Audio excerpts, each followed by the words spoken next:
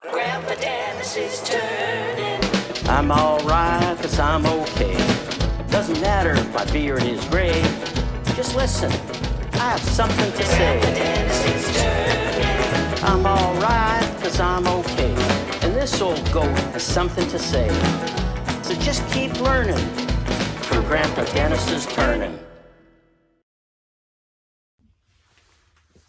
I'm Dennis Pravensky, and welcome to Grandpa Dennis's Wood Turning Studio. Today's video is all about hollowing. Hollowing out vases is a very difficult procedure. It's not all that popular as those type of products don't really sell that well. However, a lot of wood turners from time to time want to do some hollowing. So this video is all about the tools and some of the techniques used in that process. There are three basic fundamental ways of hollowing. Number one is using hand chisels. Number two is using a capture system. And number three is an articulated arm hollowing tool. I'll try and go over all of those. The first one is hollowing out by hand. That's where you take a curved tool similar to this. It's got a hook in it, and at the tip is a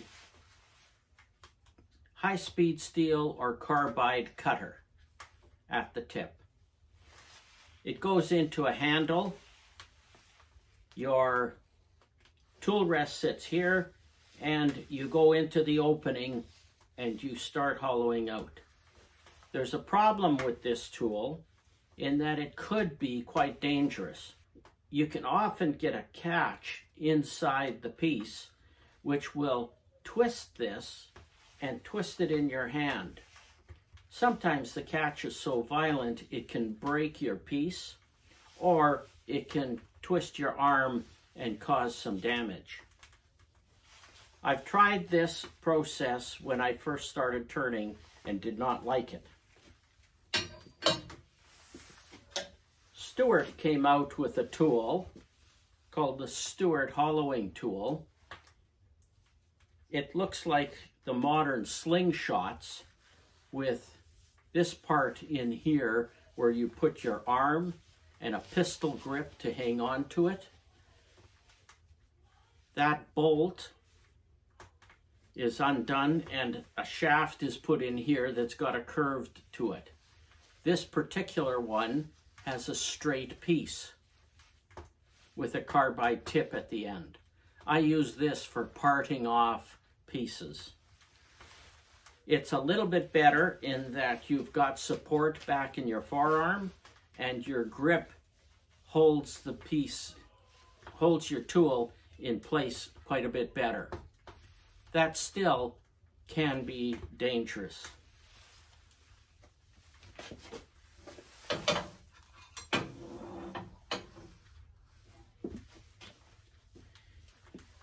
Here's the tool used for the capture system. This is usually referred to as a D handle because it's got a D shape to it.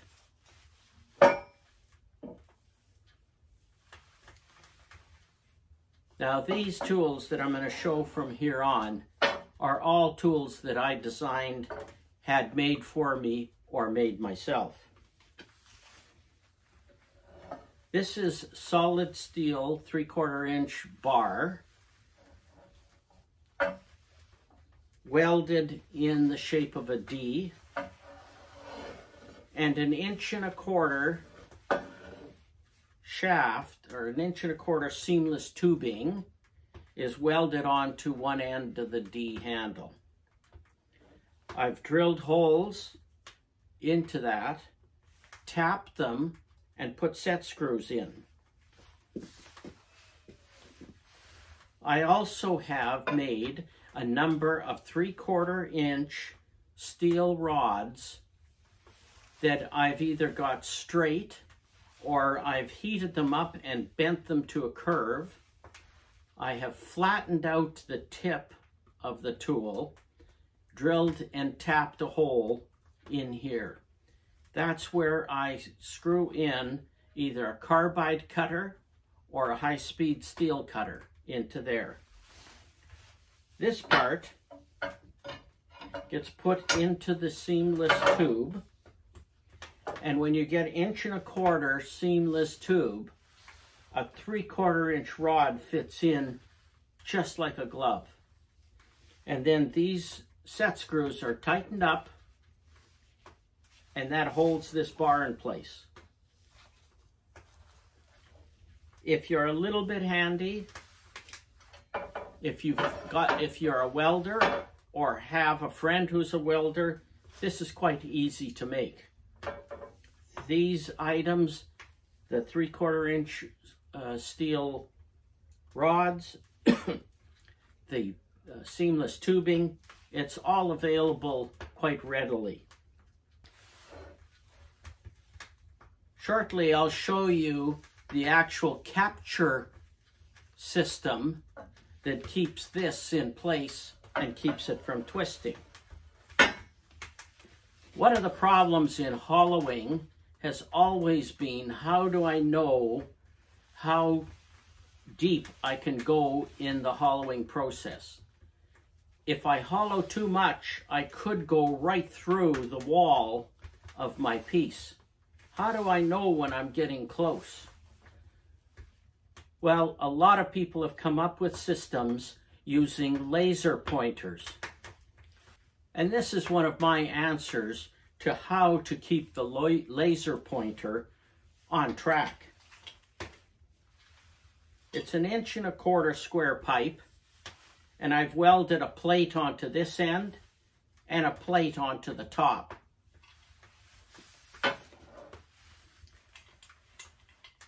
I took a piece of two by two oak and I've drilled a hole right through the middle of it that's the same diameter as the seamless tubing. That's an inch and a quarter. At this end, I've put in a T-nut and here's the quarter inch bolt that goes through. Spread this apart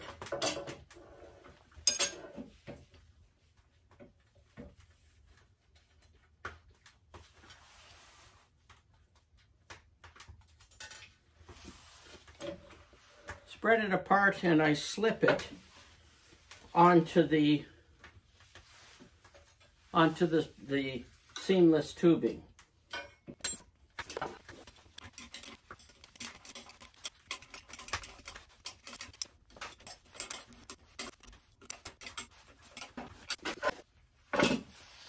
Because I took that two by two of oak and cut it down the middle, ripped it, there's a kerf there, so it doesn't completely close in on the seamless tube. But when I can now tighten this down so that it's very secure. The next move is to take my square pipe with a level, put it on, and make sure that the pipe is absolutely perpendicular to the base of the D handle. If it's not, I loosen the bolt and twist this until I get it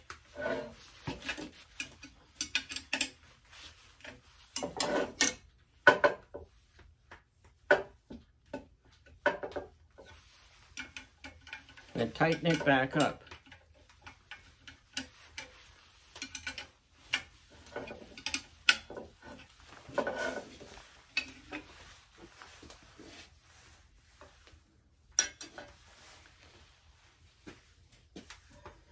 Next is to put a cutter into the handle.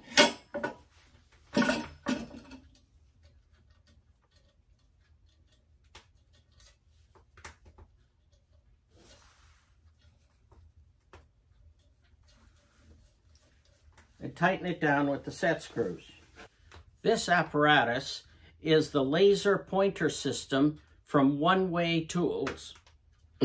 They're an Ontario, Canada company that ship all over the place. They've got a website, onewaytools.ca.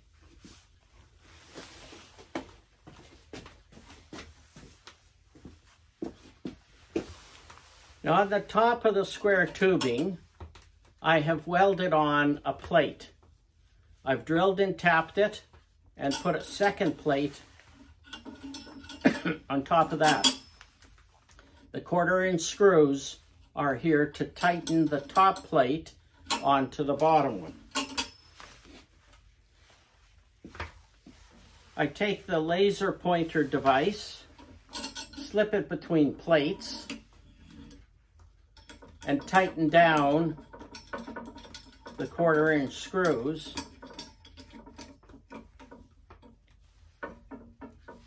to hold the laser pointer in place.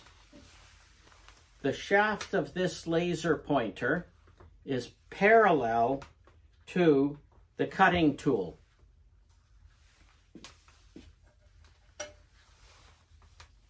Now, if I loosen these bolts up, I can move my laser pointer forward and back.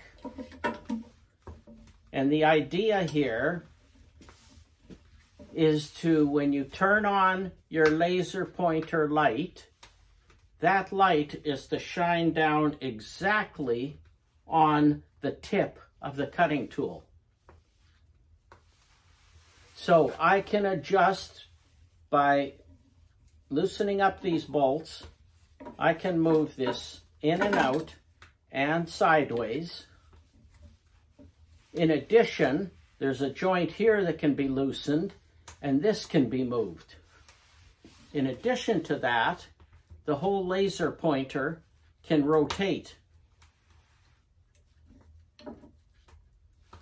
The idea here is the pointer to, is to come down right on the tip of your cutting tool and then make these adjustments up here so that the light shines whatever thickness you want the wall of your piece that's where you put your laser pointer. If it's a half inch, a quarter inch, an eighth, or an inch.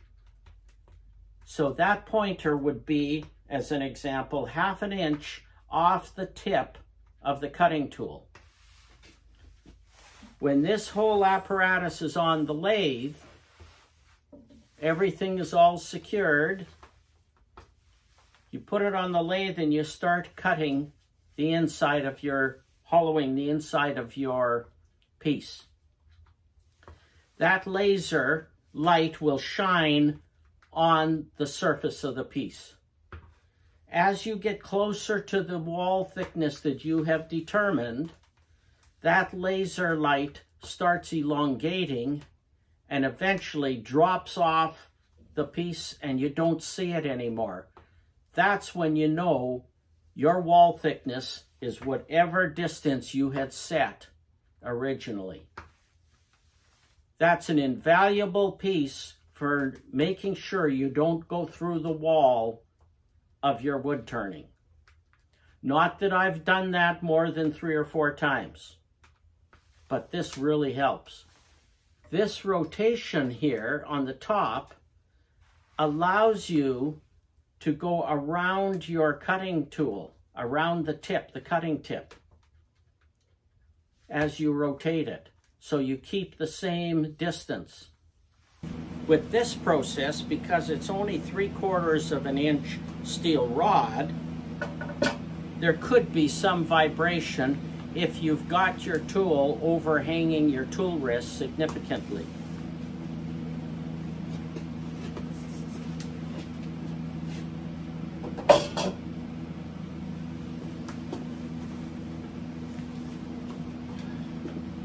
As a result, I had this one made.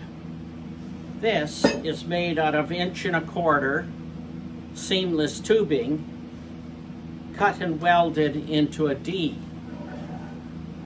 I had a machinist ream out this part of the seamless tubing so that it would fit a one inch bar. Again, I drilled the holes and tapped them for set screws to hold the one inch bar in place.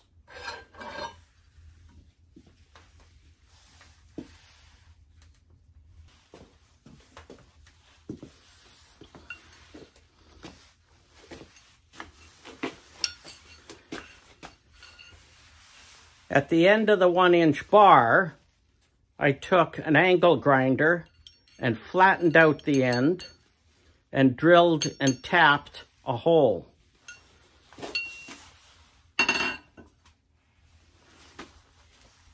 I then took a piece of steel, shaped it like so, drilled a hole in there, so that hole will now fit onto the end of the bar. At this end, I drilled and tapped another hole to accommodate the cutting tip. This is high-speed steel. This is quite readily available. Machine shops use them all the time. I had a machine shop make these circles they drilled a hole in the center and they cut a slot in here. That slot is not as deep as the cutting tip. The cutting tip fits inside neatly. But it's proud of the circle.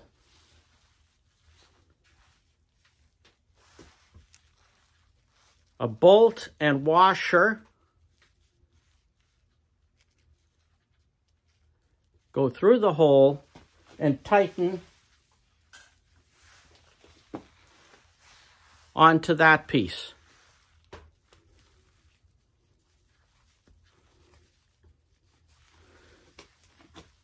When the bolt gets tightened down, it forces the washer against that cutting tip and that holds it in place. And I can move the cutting tip in and out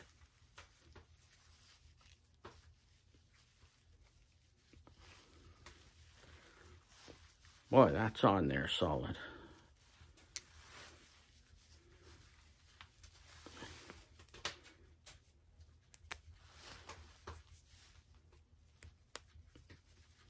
I can extend the cutting tip as far out as I need.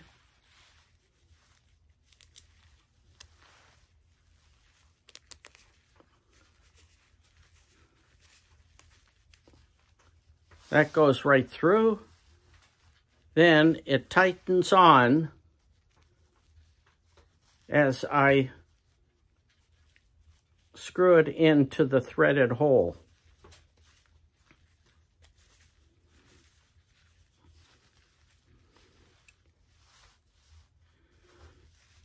Now this cutting tip can be moved in and out and angled whichever way I want it.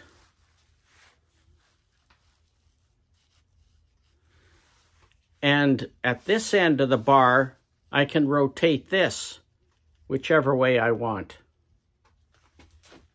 So that gives flexibility to this straight one inch bar.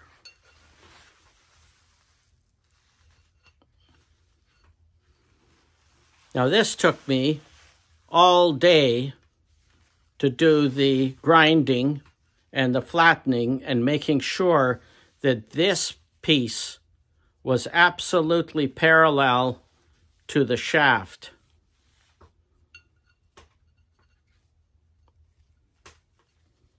And that becomes the cutting tip on a one inch shaft. This process is also available from One Way. It's in the $100 plus range. And I saved a few bucks by making it myself with just an angle grinder.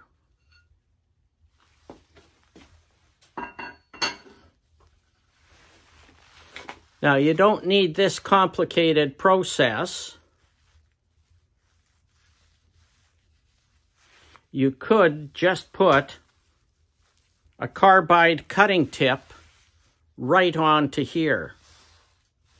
This may have to get shaped a little bit tighter to the hole depending on the cutting tip you're using.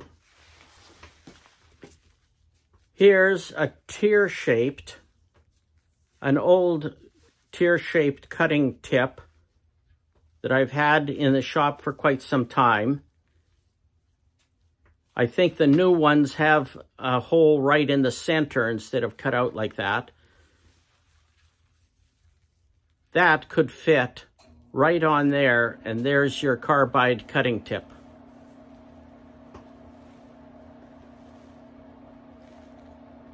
and a bolt will hold that securely in place. And again, this can be moved to different angles.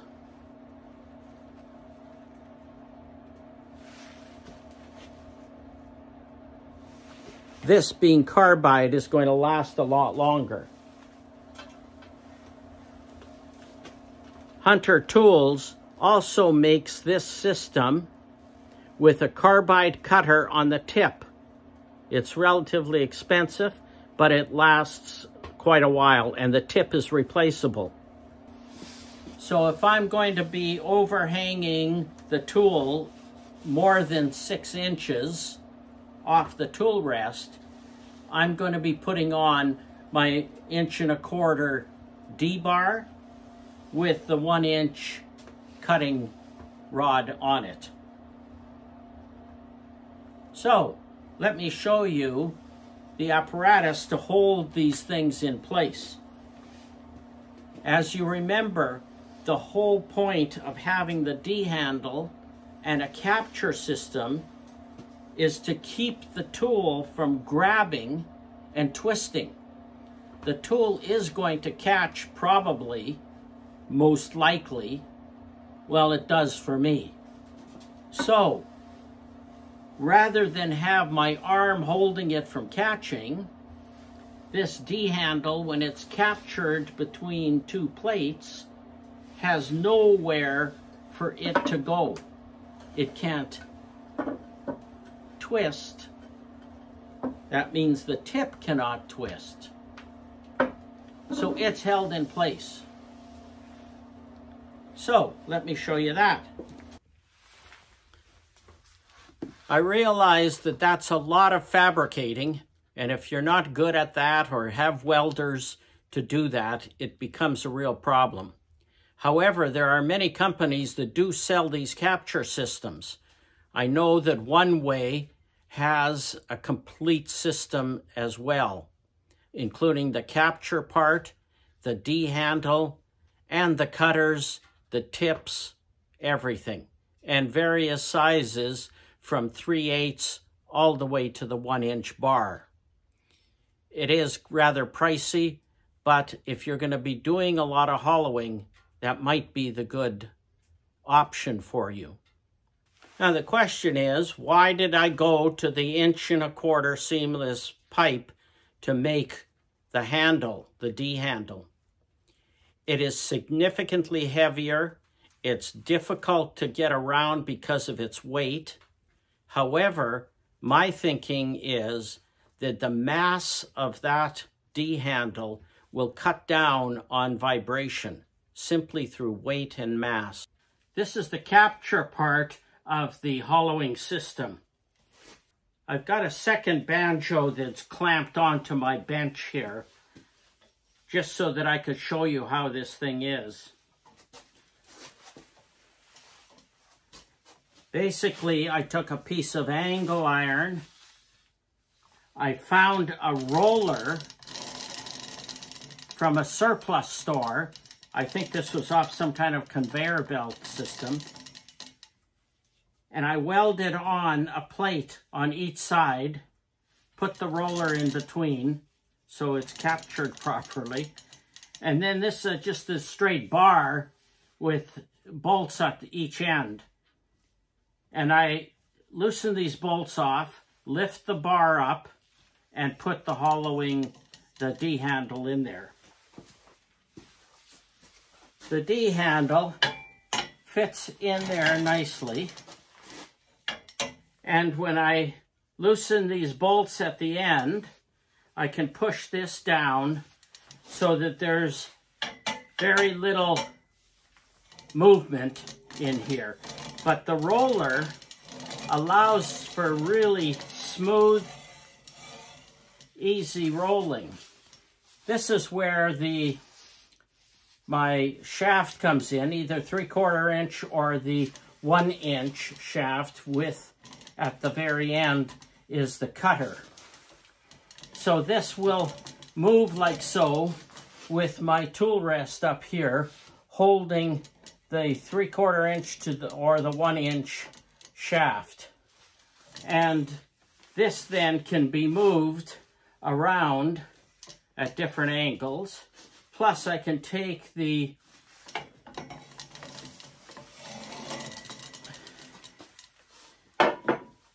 Plus, I can take my banjo and move it over as far as I can this way, and the whole apparatus would go, so I'll have more ability to get in at a more acute angle into the shoulder of a large bowl. So this is basically the system, and it's homemade. Again, One Way sells this apparatus, and it's fairly pricey, but it's doable. I can raise or lower the entire capture system by unlocking the one inch shaft that goes into the banjo. And it's important to have that ability to raise and lower it because once I put in the D handle, whether it's the large one or the small one, I need this D handle to be completely parallel to the bed of the lathe.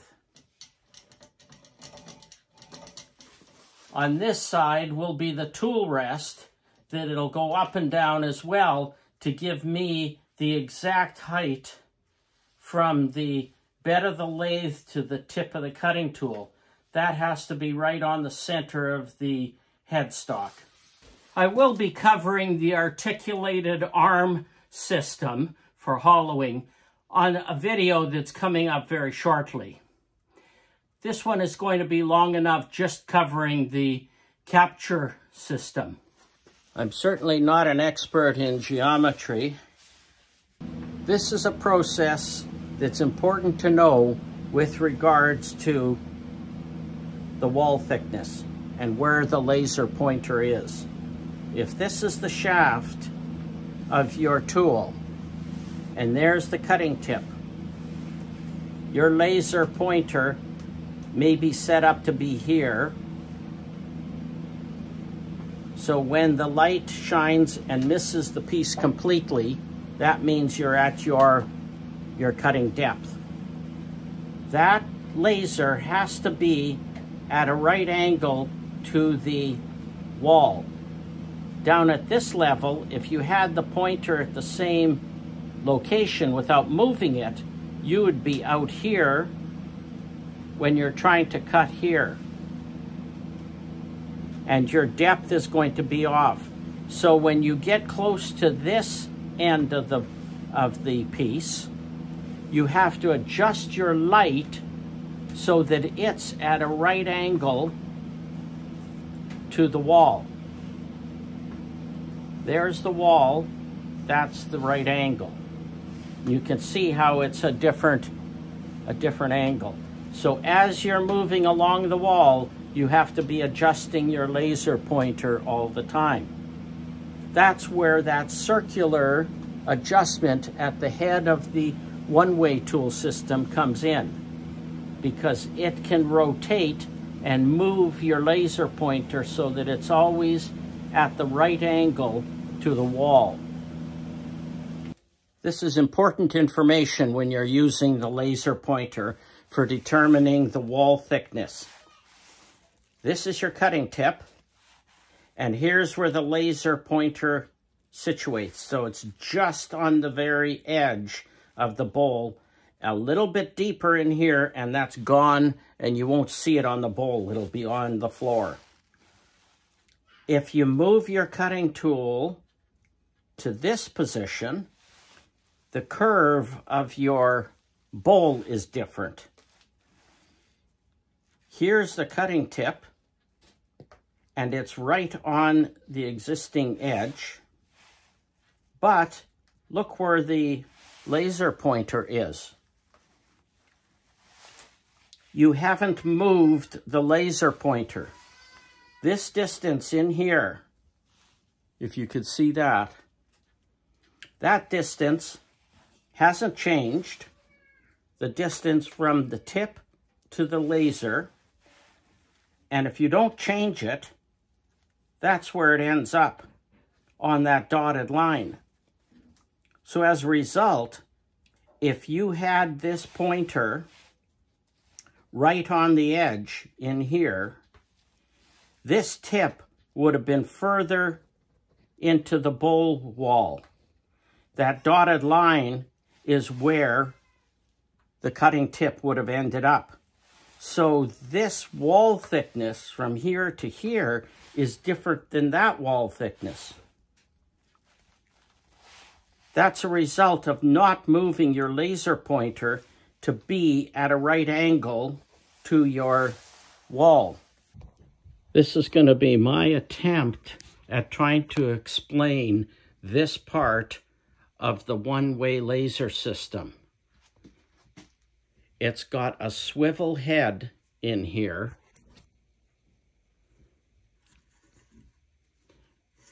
And since the laser is installed off center, as I rotate it,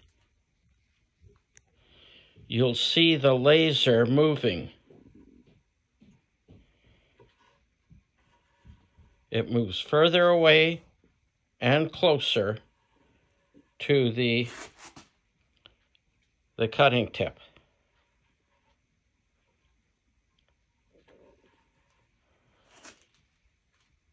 Now up here is a pointer right there. That's the pointer. So this is going to be lined up like so, which when you follow down, that's the right angle to the side of the bowl. This is the outside of the bowl, that's the inside, and that's the cutting tip.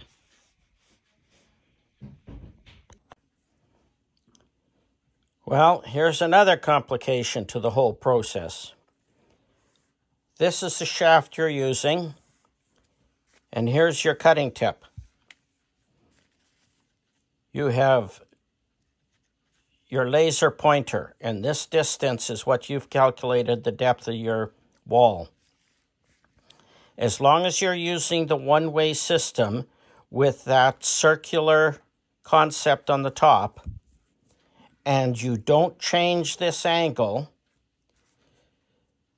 that circular system can take your laser pointer and move it all around the tip of that tool. Now, if you move your cutting tip to this direction, you have to readjust your laser pointer to maintain your half inch or whatever the wall thickness was. Now, again, you can use the circular part of the Oneway system and it will take that pointer and it would rotate it around this configuration. If you moved your cutting tip to that direction, you again have to readjust your laser so that you've got your half inch out here. And again, as you're moving that configuration through the depth of the bowl, you can readjust the pointer like so using the circular part that's on the top. But each time you change these angles, you have to manually readjust the pointer. Keep that angle of your cutting tool or that configuration of the cutting tool. And as you sweep it through, you can use the circular piece of the Oneway system to make those minor adjustments so that you can maintain the wall thickness. A famous wood turner named Lyle Jamieson came up with this template to help determine where to put the laser pointer. You take this solid line, and that's a right angle down here. Take that solid line and put it flat onto whatever part of the bowl you want to turn. And let's say it's this part. Keep it basically in here. Bring it down to your cutting tip. And that's where your cutting tip will be inside. Then set your laser pointer on that line for whatever depth you want. Now when it comes time to turning this part of the bowl, the shape is different and the angle is different. So here's the angle of this part. It's down there. So you take that, try and keep it at that same area. There's your cutting tip. Now set your laser pointer again to whatever depth you want. Simple as that. That's it. Here's the capture system set up on my lathe. This part is attached to a banjo. I've got the one inch rod inside.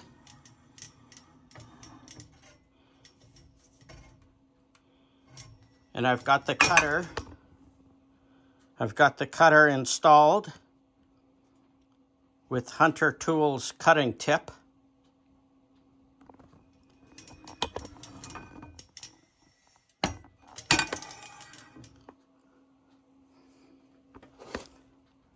I've got this tool rest set so that that cutting tip is exactly 13 inches, which is the center of this piece, which is the absolute center of my headstock. That's 13 inches from the bed to the tip of the tool. This is a 26 inch swing on this lathe. Now, it runs nice and smooth.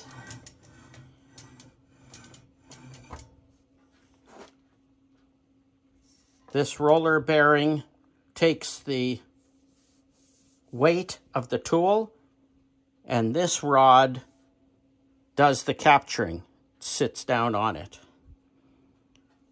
Well, let's see how it works. You'll note I don't have my laser pointer set up.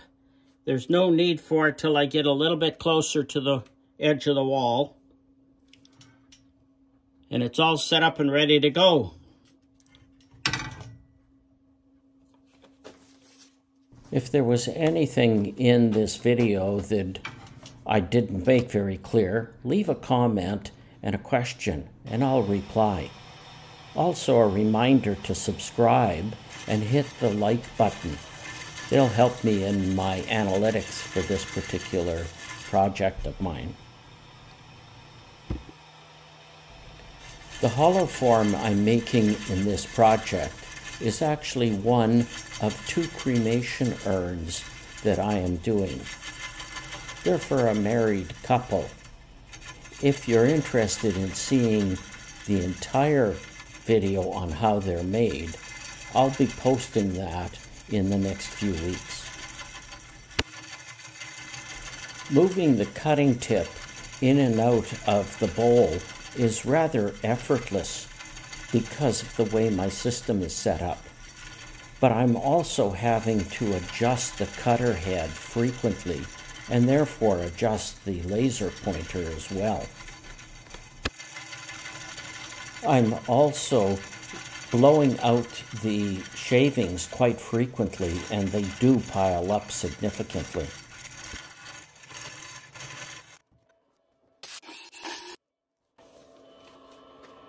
One thing of note, when you're down here, like so, you don't want to get a finger caught in here or inside there.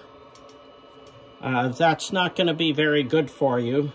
Not that I've ever done that that many times, but you want to be cautious and careful.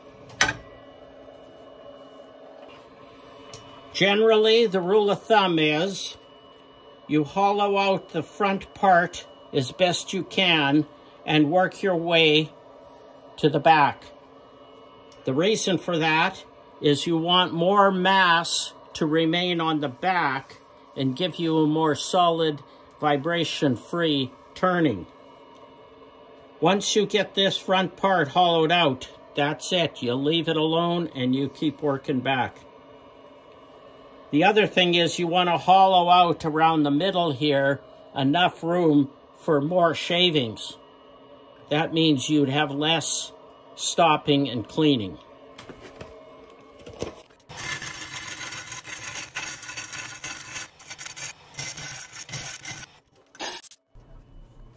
My next video will be a short one on how I made the steady rest and why I made it that way.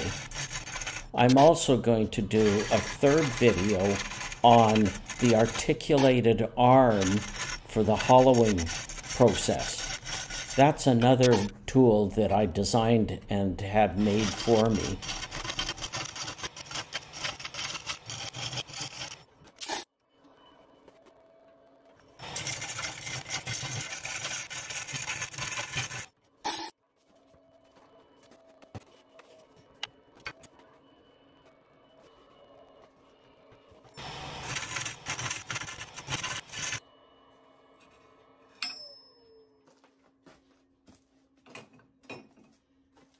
I finally got the laser pointer set up that it's almost on top of the cutter.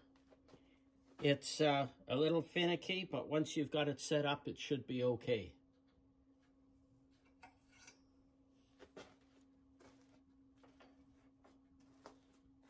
I don't need it to be accurate in terms of the depth, uh, thickness of the wall right now, because I am basically just trying to get an idea of where we are relative to the piece. The laser pointer is right there. So I've still got a fair amount of about three, two inches or so of thickness to go. So let's get at it.